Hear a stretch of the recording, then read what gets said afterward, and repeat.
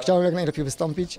Udało się, zdobyłem złoty medal. Wynik może nie najlepszy, trochę tam brakło techniki, ale, ale najważniejsze jest zdobyte złoto. Trzeba się mobilizować, jednak e, bez mobilizacji nie ma wyników i na każdym, na każdym treningu mam założony plan i muszę to wykonać. Nie ma tak, że po prostu sobie nie wykonam, nie przyjdę na siłownię, bo mi się nie chce. Po prostu trzeba to systematycznie robić i dążyć do celu. W planach mam przygotowanie do Mistrzostw Świata, które będą w listopadzie e, w Czechach, w Pilźnie i tam no, będę bronił tytułu Mistrza Świata.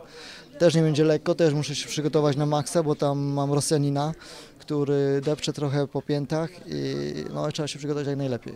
To wygrywanie jeszcze pana nie znudziło?